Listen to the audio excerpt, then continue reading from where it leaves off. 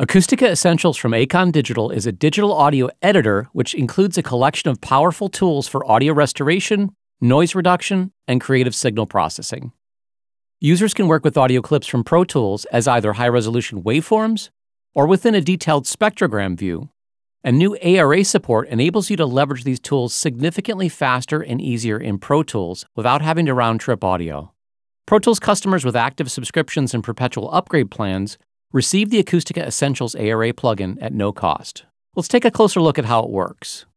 When Acoustica is added to an audio track in Pro Tools, the active clip is displayed below within the docked ARA view, showing a high resolution waveform where the playhead for Acoustica is locked to the Pro Tools timeline.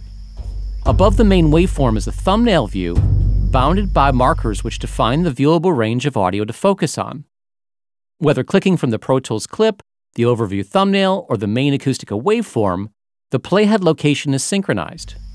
From the volume menu, users can access practical functions like volume, fade, or normalize to quickly adjust levels, add fades, or optimize the audio clip based on RMS, true peak, or loudness values. The Tools menu includes signal generation, such as pink and brown noise, but also frequency sweeps, plus phase rotation, silence insertion, and DC offset mitigation. Inside the effects menu, you'll find signal processing options like modulation and chorus, plus an excellent convolution reverb which supports true stereo mode and the ability to import user created impulse responses. The enhancement menu is where the noise reduction algorithms live, providing tools to tame hum, digital clipping, and individual problematic transients.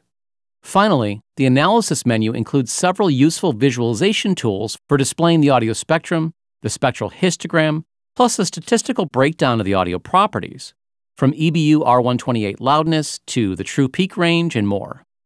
You can easily export the analysis data into a document to include with the delivery of your audio assets. Next, let's take a look at Acoustica in action with a snippet of location audio recorded from a sculpture park. We'll start by doing a simple trim on the source audio by accessing the volume function within the volume menu.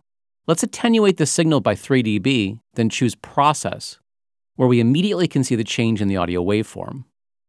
The low frequency percussive hits have potential, but let's clean up some of the other ambient sounds like birdsong and insects, which may be distracting.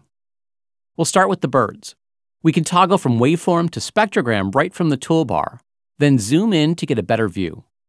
We can even tear off the docked Acoustica window, then stretch it on this or any other display attached to our system. Let's isolate the birds by choosing the freehand selection tool, then drawing a boundary around them. If we play back, we can hear only the isolated birds which are bounded by the selection. Let's enable the Retouch tool in Replace mode, which allows us to pull material from the same frequency range to replace the selection containing the birds. We'll control click, then press the bracket button to perform the replacement.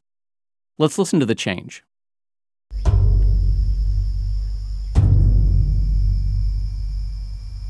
Acoustica provides multiple paths to accomplish noise reduction and artifact removal. If we back up slightly, you can hear a sequence of small transient clicks within the audio just following the previous impact. Let's return back to the waveform view, then choose the declick tool from the enhancement menu. We can also choose to solo just the noise artifacts in order to identify exactly what we're removing from the audio. Let's apply the process, then listen to the results. We'll return back to the spectrogram view to address the bed of droning insects. And to do so, we'll leverage window configurations to restore an alternate view of our Acoustica editor. This time we'll grab the rectangular selector tool for time and frequency and draw a box around the insects, spanning a few of the individual impacts. From the retouch tool, we'll choose attenuate and then set it to 80% to reduce the majority of these elements. Click to define the reference audio, then process. Now, most of the dominant environmental noises have been attenuated or completely removed. The changes that we've made while working in Acoustica are non destructive and can be easily undone right from the Edit menu. We can also right click on the active clip in Pro Tools and choose to bypass the Acoustica ARA processing so we can easily A B the choices we've made. To start over and revert the clip to its original state, simply choose Clear. To apply the current processing from Acoustica and print it into a new clip, choose Render. Now that we've committed the changes, we can continue working in Acoustica by selecting Edit to re-enable the clip processing. Let's normalize both of the impacts to a value of minus 5 dB true peak. Within this same normalized tool, we have the ability to process audio based on loudness reference values as well.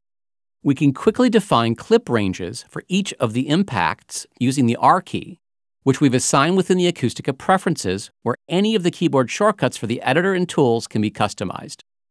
We'll label each of the selected hits then from the File menu, we can choose Save Regions to Files, where the options include target folder, naming structure, plus the file format, which can include FLAC, Opus, Wave64, and more. For this example, we'll choose FLAC, which is both a lossless and a compact file format. Now that we have our individual assets, we can easily pull these into other sessions, samplers, sound design tools, or asset databases. Acoustica Essentials from Acon Digital is a powerful digital audio toolkit for Pro Tools users that offers high resolution waveform and spectral editing, intelligent audio repair, creative signal processing, and audio analysis for a wide range of applications.